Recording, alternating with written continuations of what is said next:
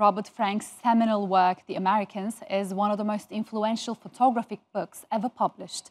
It's credited with not only being a true and often uncomfortable reflection of American culture, but also a fundamental work that redefined it. Always a critic of the American drive for conformity, Frank once said he was, quote, tired of romanticism and wanted to present what he saw pure and simple. And this is exactly what he did.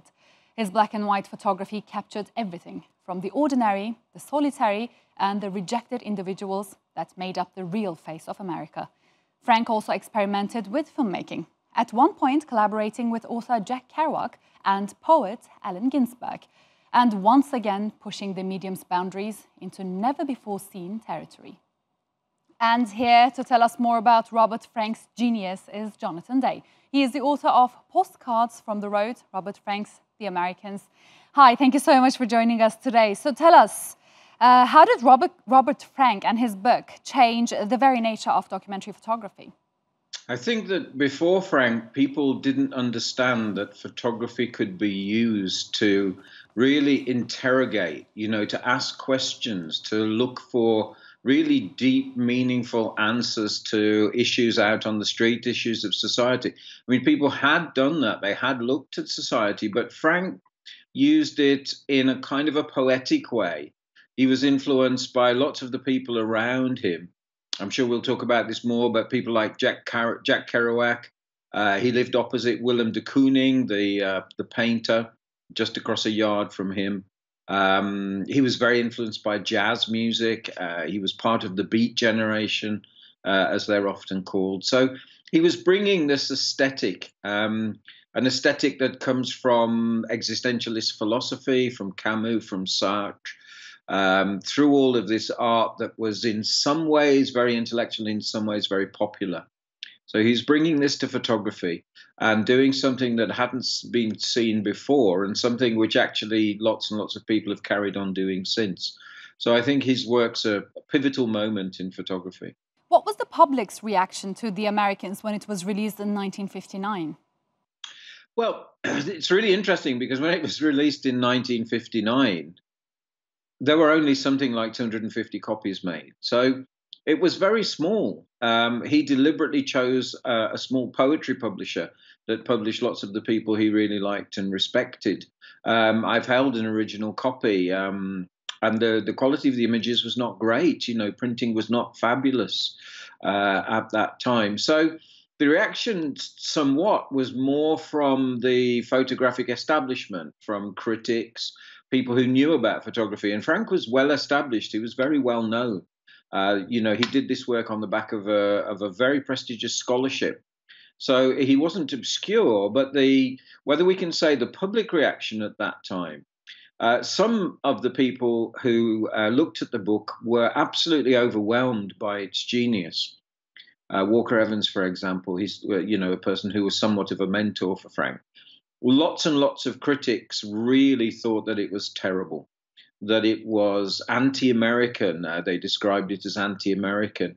Um, that Frank somehow had imposed his own depressed foreign view uh, of America on the country, and that this was unacceptable. There was a very, very powerful um, backlash uh, from some writers against the book. And writer Jack Kerouac once said that uh, Frank sucked a sad poem right out of America onto film. What was that thing that Frank captured so well behind what's so called American dream? Yeah, um, he was very close to Jack Kerouac for a while. They met at a party, and I think they made an impression on each other. And uh, Frank originally had a different introduction to the book, but he decided to ask Kerouac, and Kerouac wrote a beautiful piece of writing.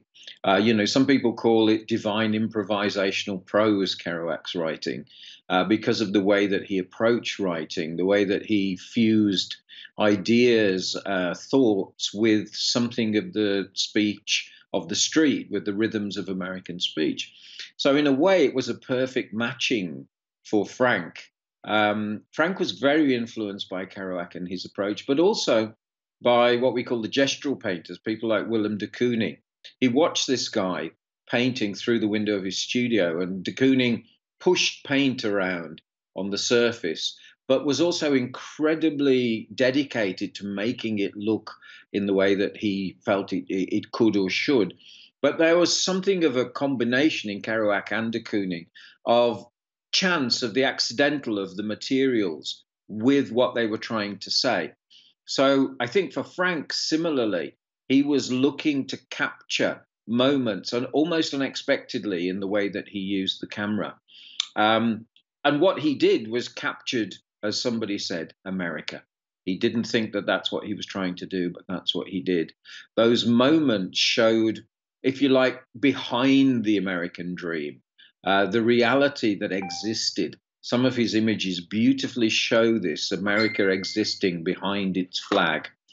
And um, I think that that was really the thing that he did. He said, okay, the American dream is here. He said that the you know his travels and the photography didn't make him hate America; it just made him understand people more.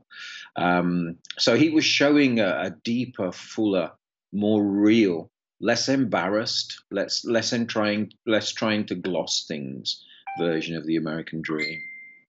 And tell us about Trolley New Orleans, one of its most iconic photographs.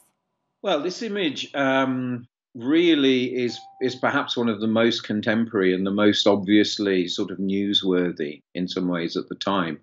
Um, it came at roughly the same time, a few weeks away from Rosa Parks, who famously refused to stand up and give her seat to a white man on a trolleybus, um, not in New Orleans, but um, you know, also in the American South. So this kind of resonates for that reason, uh, in a way. But the image itself, uh, outside of that, I think Frank was aware of that tension, uh, aware of the situation in terms of the relationship between people. What the image does is it shows this um, kind of rather detached, rather haughty looking lady, um, a young boy, smartly dressed, and then behind them, uh, a black man so it really embodies this notion of um, preferencing white people over black people that was happening in America on public transport at that time. Uh, there's this very large, powerful black man. His position is very slumped. Uh, the young white boy looks as if you know he's going to be some sort of leader. But so Frank has a social point. But then look at the picture. Above them are four windows which almost look as if they have Impressionist paintings in them. And I think this really holds the heart of Frank the tension between the immediate, the political, the social, and the much more enduring aesthetic, uh, spiritual overtone. Uh, so he's combining both a, a wonderful representation or, or re- reflection, echo of fine art painting with something very contemporary and political. So Frank told the Guardian newspaper in 2004 that the kind of photography he did was gone and it was too old. What does he mean by that? And do you agree? I think that, that following Frank, I mean, Frank, Frank allowed me to use his images and worked a little bit alongside early on. And then as I went deeper in, um, he was rather more distant. I think Frank felt very concerned about preserving what he'd done uh, when he was older. But also, he had many phases in his career. And after the Americans, he, he for a while gave up photography uh, and concentrated on film.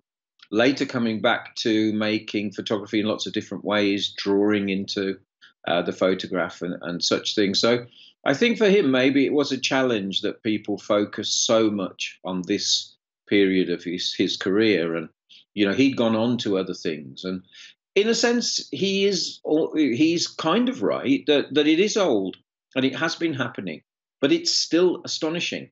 And people are still producing, I think, uh, in my opinion, great work in terms of street photography and documentary photography. So, is the style old? I think the interest, the fact we're doing this interview, pretty much says that it isn't. Right. It was great to have you on our show today, Jonathan Day. Thanks so much indeed.